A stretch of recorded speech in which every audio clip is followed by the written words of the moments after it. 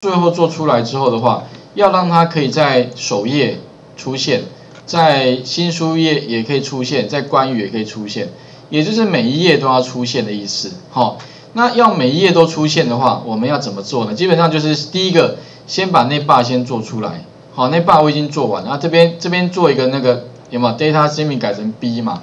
所以做完之后哈，来及时来看一下，基本上就可以看到类似像这样。不过你们可以发现，哎，底下如果多一个空白，对吧？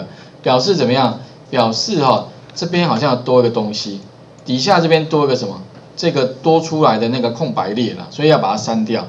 但是我建议，如果你在选那个 div 有时候选不到的时候，怎么样？你可以先在底下做一个空白列，等到做完之后再把空白列删掉。不然哈，如果说你没有这个空白列哈，有时候你光要选那个那 bar 还真不好选。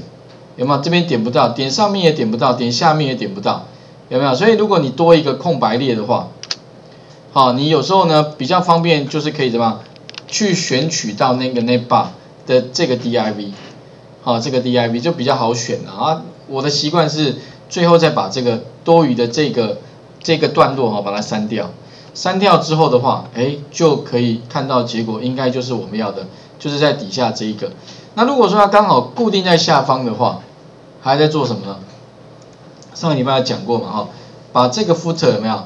把它多做一个动作，什么呢？footer 里面有个什么？data position。第一个要先把这个页尾的部分有没有？先选起来。第二个步骤的话呢，就是把这个 data position 改成什么？改成固定的。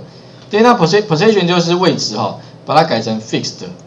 这个时候呢，你把它 fix 掉之后的话，你上面如果底下还有一个呃高度还不够的话，就是它自动会跑到最下面，固定在下面，好，所以无论是你上面差多少，下面你看就会粘在这里了。那如果太上面，它就是那都太下面，它也会粘在这里。反正你怎么卷，它就会一定固定在这里。哎，这个方式非常重要。不然有时候我看到有些有人就写的 app 奇怪，好像就是没有粘在上，就就没有办法卷。